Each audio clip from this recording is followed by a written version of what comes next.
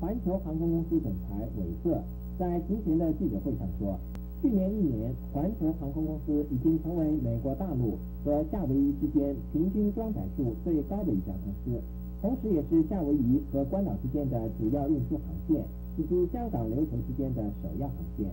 韦瑟并且在答复记者询问的时候表示，